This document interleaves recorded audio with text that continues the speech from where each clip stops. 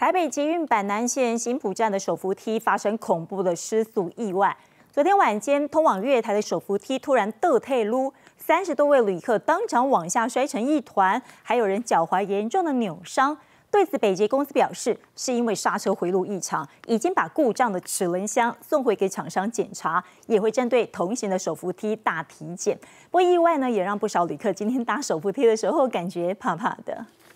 男子在捷运站搭乘向下的手扶梯，突然系统骤停，让他反应不及，当场摔倒在地。这是发生在二零一二年捷运新浦站的惊悚意外。想不到十年过去，类似状况在同一站又上演。发生意外的就是捷运新浦站这个已经在检修当中的手扶梯。十一号晚间，民众搭乘往上，但手扶梯却无预警下滑，造成三十多位民众摔得东倒西歪。恐怖意外发生在新浦站月台一旁的手扶梯，当时有三十多名乘客搭乘向上。疑似因为刹车回路异常，手扶梯急剧下滑，三十位民众摔得人仰马翻，一人脚踝扭伤送医，还有三人擦伤。一般都是老人家，可能没有站稳，那时候才会受伤。民众透露，类似状况在捷运新浦站已不是首次发生，这回手扶梯是在晚间十点多出包。若是发生在上下班的尖峰时刻，后果恐怕不堪设想。那厂商的说明是因为刹车回路的异常，没有立即刹车。如果功能失能的话，这个异常是非同小可。